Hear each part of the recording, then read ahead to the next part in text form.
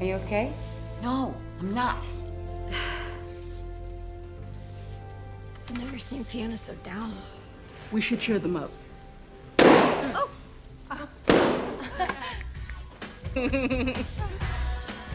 you know, ladies, this job ain't much fun.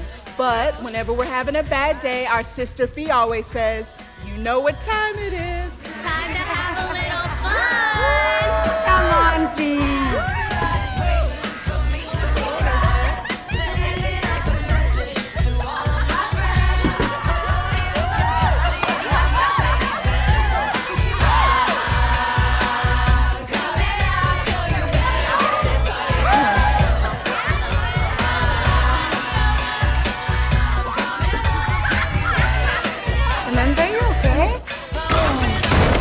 Oh my god, Samantha! Samantha. What's wrong with her? Okay?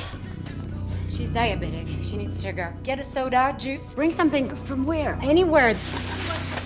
Mom, something or any drink. The caterers. I don't know. Here, here. Yes, that's great. Okay, we're gonna sit you up. One, two, three. Come on.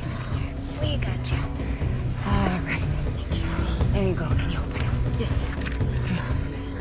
A little.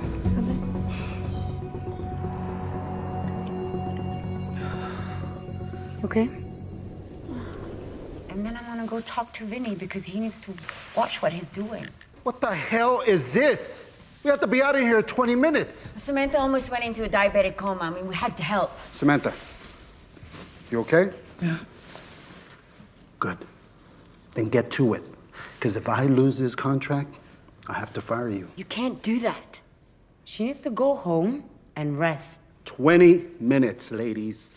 Chop chop. What is wrong with you? I mean, she could have died, and that's the way you treat her? Uh, here we go. Just do us a favor. That, shut your trap and get back to work, or you're fired. That's, that's not gonna happen because. because I quit. Again? How many times this month? See you tomorrow. Nah, she's not coming back, and neither am I. We both quit. Yeah.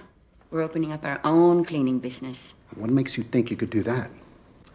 Because we're badass bitches who deserve better than putting up with a jerk like you.